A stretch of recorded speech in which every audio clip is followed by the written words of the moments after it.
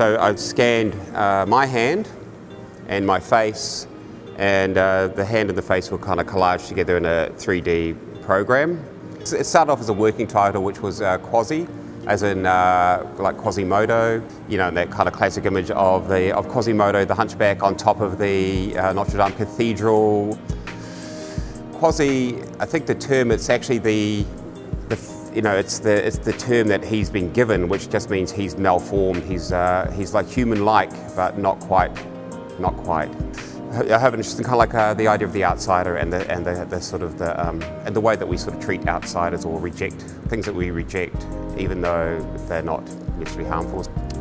Should make people smile and I don't and not and, and, and, be able to relate to in a certain way. You're not, it's not something that, it's not scary necessarily, and I think there's a sort of a childlike sort of, you know, child sort of movie, animated movie, or a kind of a puppet hand or something like that. You know, something that's inoffensive, I think. And um, so it's, it's, it's, always good to come home and, um, and kind of contribute to the part of the dis discussion of uh, the kind of rebuild of Christchurch. It's, it's always, you know, always think about it.